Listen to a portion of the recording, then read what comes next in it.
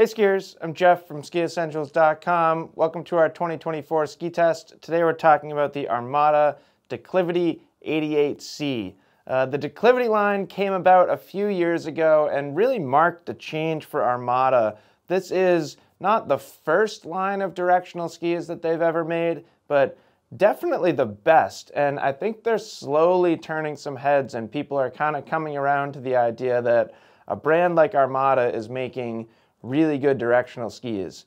Um, I think this 88C is, well, probably is getting overlooked even more than the other models. I think what happens a lot of the time for ski consumers is we look at the TI versions. So in the declivity line, we've got 82 Ti, 92 Ti, 102 Ti, and then beyond. And it kind of makes this ski at 88C just feel a little lost or at least a little different, which is kind of a bummer because this ski is awesome. Um, it's become one of our like favorite kind of all mountain off piste style skis. If you really like skiing moguls, stuff like that, this is a really, really, really good ski.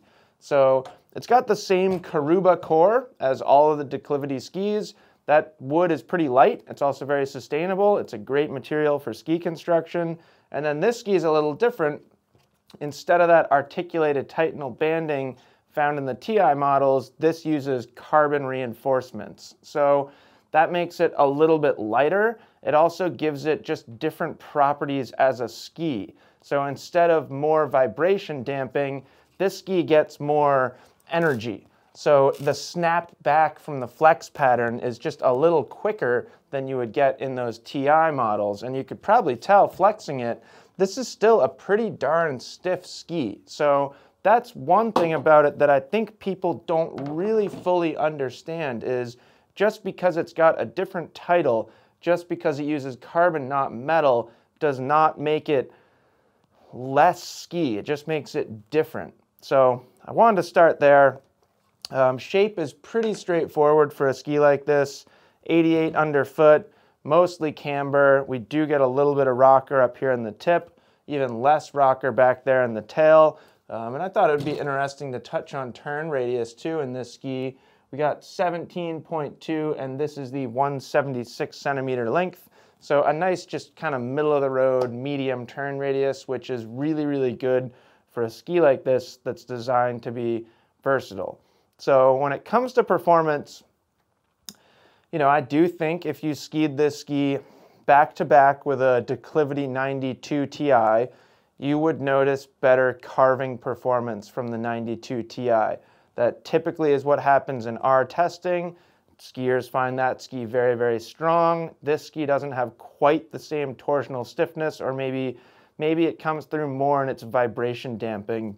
But this ski is very, very quick and very agile and very responsive to skier input. So when you're skiing stuff like moguls, there are kind of more benefits to this ski than those TI models.